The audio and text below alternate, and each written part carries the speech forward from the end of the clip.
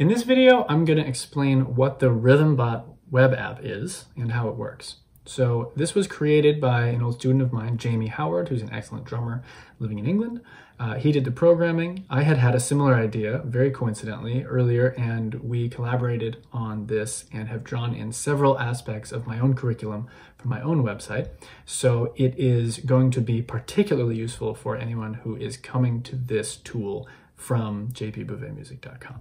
So what it is, is a rhythmic vocabulary trainer right? And it does this by generating random rhythms according to the parameters that you set. Right? So they could be very basic rhythms, they could be very advanced rhythms, they could be straight time, triplet, or mixed. And it will generate you new rhythms ad infinitum uh, for you to practice uh, in any of many different ways. Um, so, for those of you who are not familiar with the idea of rhythmic vocabulary, in the briefest possible way. Um, rhythmic vocabulary is your store of rhythmic melodies that you can create with. Now, a key issue that people have with their rhythmic vocabulary is the same thing that happens with our speaking vocabulary, where our speaking vocabulary is smaller than our, our comprehension vocabulary, what we can understand, right? So in books, you read a lot of words that you won't necessarily use, but you know how they're how they're spelled, you know what they mean. You in theory could maybe use them, but they don't come to you in the moment when you're speaking. This is very common with drumming, right? And this is characterized by, um, well, I, I, should say, this is demonstrated in examples that I find over and over again with students where I, I give them an interesting rhythm, right? A complex rhythm. They can play it rather easily. And then I say, okay, think of a rhythm like that, using the same tool, using the same you know chunk of melody, the same type of uniqueness, and they can't think of it themselves. Right? This is a major problem because if you can't think of the rhythm yourself, your drumming is not going to get more interesting. You'll be stuck playing boring things, uh, and if you work on speed, you'll play boring things fast. If you work on coordination, you'll play boring things in very you know uh, coordinated ways. But at the core of a lot of drummers' uh, uh limits to their creativity is this basic inability to come up with simply interesting melodies, right? To be able to go ba, ga, ga, ga, ga, ga, ga, boom. Right?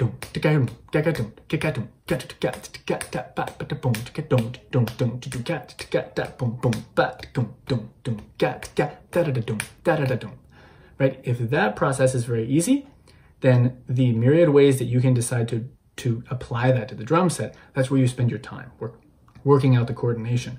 But without that initial element, right, without the, the, the, the basic vocabulary to create the, the melody that's interesting, uh, no matter what you do with the boring melody that you come up with, it's always going to be exactly that kind of boring. So ideally, this is a tool to help us get past that to a learn to read very well uh, because this is reading flashcards and to more than read to become literate and, and, and to be thinking in rhythms right? So these symbols that represent like the notation is a symbol that represents a specific sticking and a specific melody and a specific sound right? You want these things stored away in a way that is is easy to recall and upon recall happens automatically.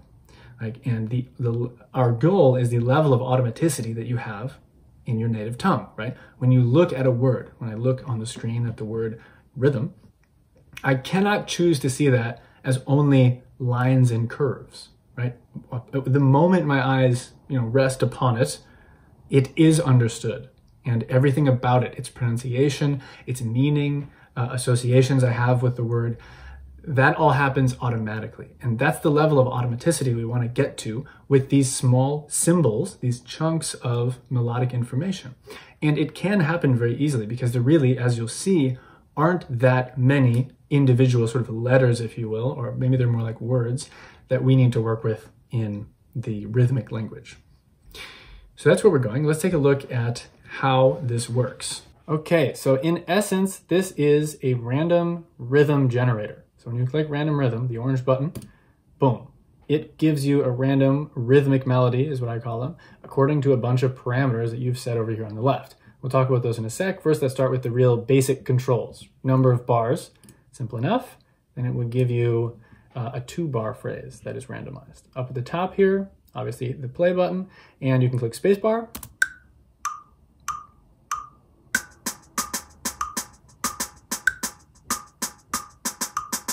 great. Uh, you can shuffle the bars if you have a few that you're like, ooh, I like these. Uh, I don't want to think of new ones. Let me just rearrange them and get to know these pieces a little better. You could, if you had, for example, a four bar phrase, um, you could say, ooh, okay, this bar is really, actually, there's a few interesting bars here. This one's really tripping me up. Let me isolate it and let me just loop that one. So if I click the space bar now, it'll just loop that one bar and I can work on that. Um, that is that. If you've got something selected, you can then clear the selection right there. So that's those top controls. Simple enough. Now let's take a look at all this stuff over here on the left. So there's a lot we can control here and we can uh, use, like everything's there for a purpose, right? So we uh, can use these to help aid our practice in various different ways. So right, first at the top of the left side here, we've got mode. Once means it just plays once, right? Like you just saw, I clicked play and it played through the measure once. Get that, da. End, great. Loop, self-explanatory.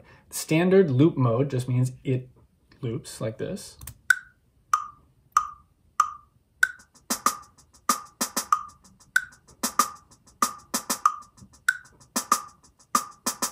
Great, you're trying to get familiar with a rhythm, you can loop that, you can play over it if you're treating it as hits or a kick drum pattern or something.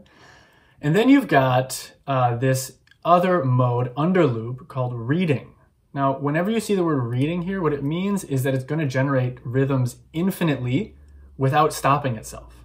So you need at least two bars for this to make any sense. You'll see why in a moment. But if I select reading and I just click the space bar, I click go, it's going to play the first, the first bar and then it's going to move to the second bar and replace the first bar, and then replace the second bar. So I end up with an infinite reading exercise, which will look something like this. Here we go. First bar, second bar. First bar is different now. Second bar. So they change constantly.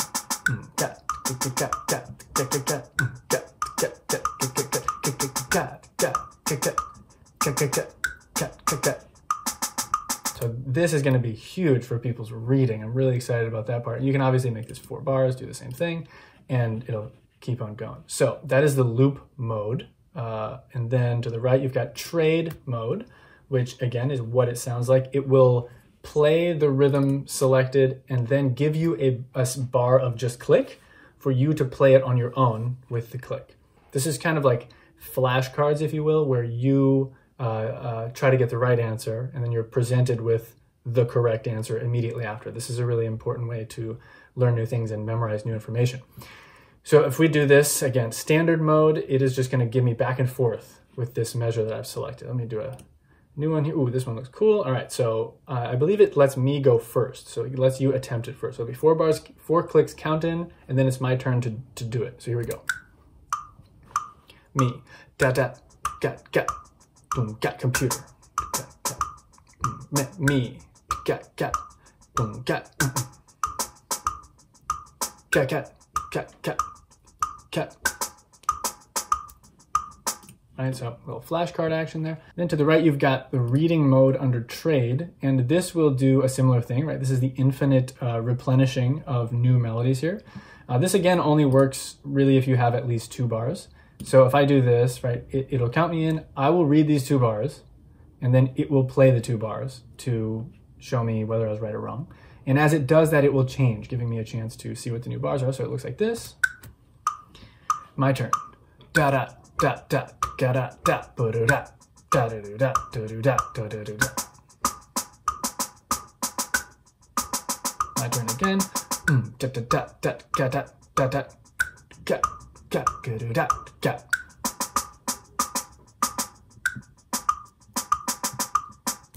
Great, so that's trade mode. And then you've got this mode over here. The last mode here is click. So click will not play you the rhythm. So it will count you in, and then it will just, you'll see it'll highlight the bar and it'll sort of guide you through this. So in standard mode here, uh, it will just, uh, yeah, count me in and, and I'll go for it here. So it goes, sounds like, uh, here we go.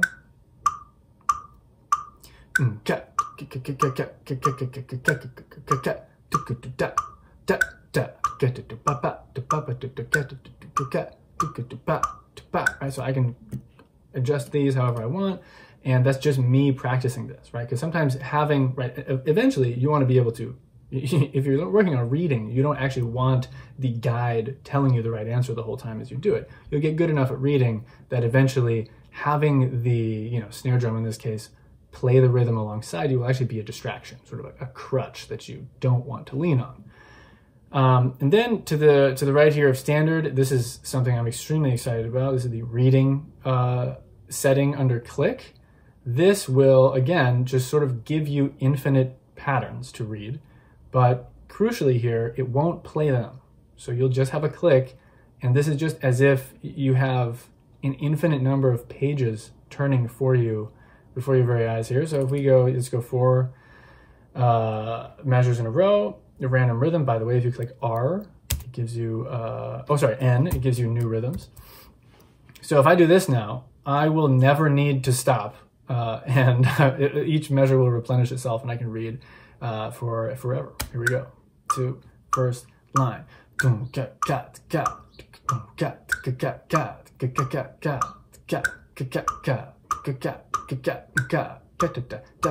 Back to the top. Da da.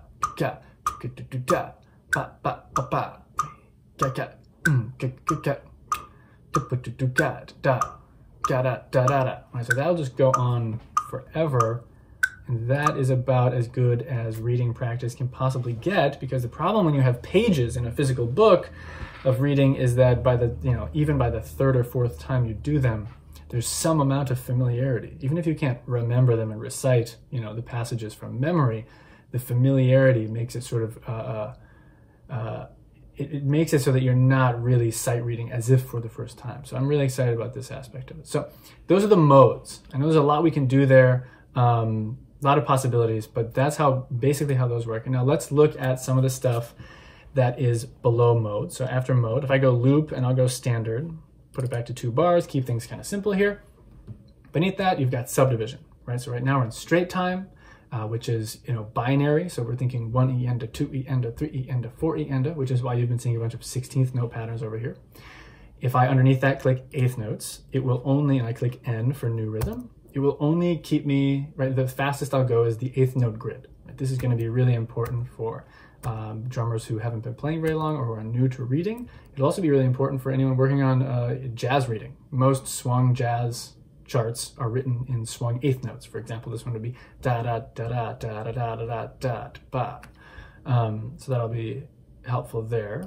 Um, then you've got next to straight time, you've got triplets, right? So this is ternary based in three. I click N here, get a bunch of triplet rhythms, right? So this sounds like two and a three a four. One, da, da, da, da, da, one, da, da, da, da, da, da, da, da,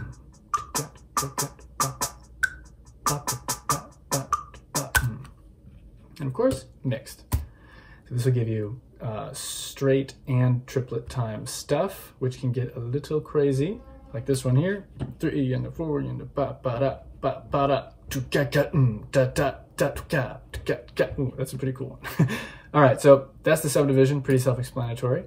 And then you look down below that, we've got playback mode, right? Or sorry, so th this is the instrument that plays back. Right now we are hearing a snare drum playback. Uh, that's sort of the default setting. Uh, you can select kick because one common way to use this type of app, this type of exercise, these type of flashcards is, for example, for freeing your kick drum underneath a groove, right? So if I do this now, I'll create a different rhythm. Um, it's gonna be a pretty complicated rhythm. Let's do that one. And this will turn, you know, just play back as a, kick drum.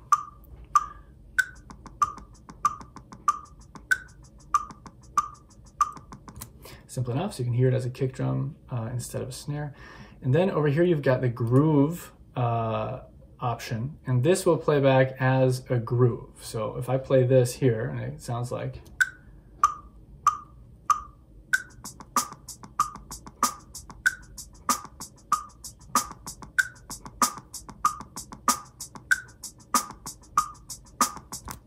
so it adds the hi-hat, it adds the backbeat, and if you click groove, the groove button again, or you click this little text beneath it where it says click to edit cymbal, backbeat, and swing, click either of those, it brings up this menu where you can adjust the parameters of the groove.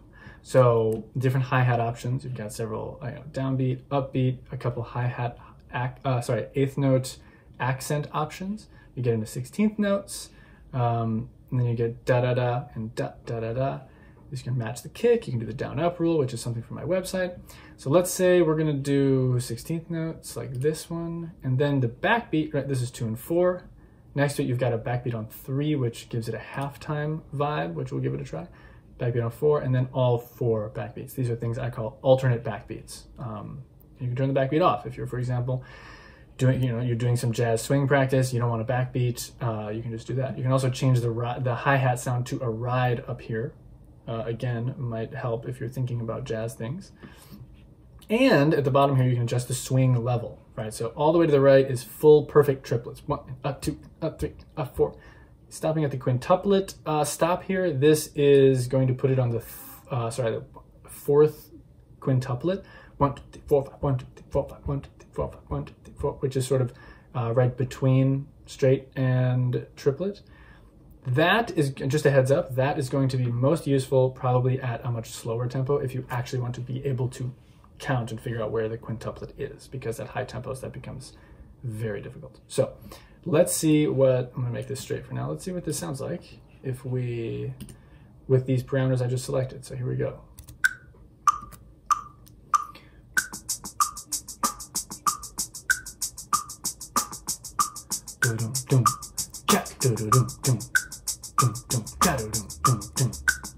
Great. If I want to change some of this, right, we go back to uh, eighth notes, uh, regular backbeats, and let's say we go like 27% uh, swung, it'll sound like, pick a new one, why not?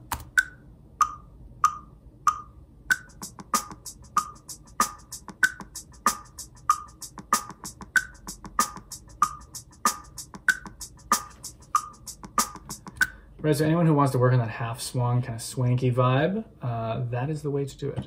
So I'm gonna put this back on snare for the moment and let's move further down here. So we're talking about bars, obviously the, the go button and the clear button. Now down here, we've got presets. Presets are drawn from my, what I call the big 10 and the big eight. The big 10 is straight time, the big eight is triplets. These are uh, you know, sort of rudiments with melodic content that I consider essential, and these are a, a major sort of part of the core curriculum of my own teaching on my website. So all of these will give you, for example, uh, if you take paradiddles, this is a familiar example here. We only need one bar. What you'll get here is the right hand melody of a paradiddle. Right? So right, left, right, right, left, right, left, left, right, left, right, right, left, right, left, which sounds like bat, ba, bat, ba, bat, ba, bat, ba. Okay, so these presets all course, I'm not gonna go into any in-depth description of what the Big Ten is. You can stop on my website if you uh, wanna figure that out and search for the Big Ten in the search box. Um, but just so you know, there's a bunch of useful rhythms here. Groups of three, groups of five, what I call the 16 invisible rhythms, four permutations of the paradiddle, um, doubles and singles. Doubles includes inverted doubles, etc. So anyways, presets are in there. If you are in triplets, there are different presets. Again, these are the big eight, every four triplets, doubles and triplets, every five triplets. And then uh, again, things that uh, are essential building blocks in my curriculum, short melodies, long melodies, swung down ups and Afro-Cuban down ups. And there's all sorts of cool melodies to get into there. Complexity, let's go back to straight time. If we go to complexity, this is just level one through five. These are somewhat arbitrary. I have selected what is uh, less and more complicated. Uh, the default is at five, so you will see just every option possible, basically, uh, in 16th notes. If I go back to one, then you get quarter notes, um, eighth notes, quarter note triplets. If we go to level two, it adds eighth note rests on the downbeats, like on beat two here. So you have, um, well, that's just, uh, that can be, that can create some more interesting rhythms. Level three, you get some 16th notes, but the less syncopated versions of 16th notes here. Lots of that stuff. And then level four, you get some more syncopation. And level five, you get full on everything uh, you could uh, ever want or imagine. Then underneath that is custom. Right now it is off, but if you click it, you can actually select which chunks of melody you include and exclude.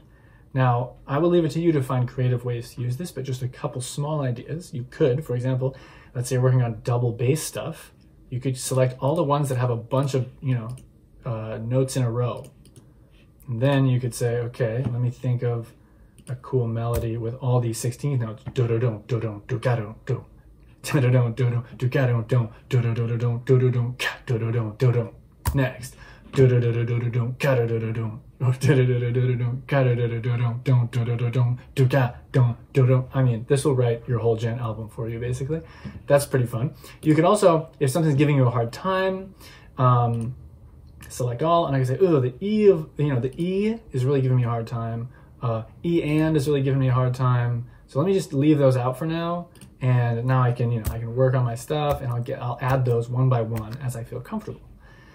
So anyways, you can use that, uh, you know, however you want, uh, just to guide. You can also, if your teacher's on board with how this works, then uh, they could be selecting sort of one item at a time. I often teach these chunks one at a time, introduce them one at a time myself as I'm teaching. So that is the custom uh, selection there. And at the bottom, you've got playback controls. Uh, BPM adjustment, simple enough. Swing adjustment, right? So this will, right, when you're in the groove, like we talked about earlier, there's a swing adjustment in the groove thing. But when you're in snare or kick mode, the swing control is down here, right? So you can go perfectly straight is zero, and you can go perfectly swung is 100, da, ba, da, ba, da, da, da, ba, da. Anywhere in the middle, again, in case you want to work on that kind of half swung thing, if I do that here, uh, and put it on a kick drum, why not? It'll sound like.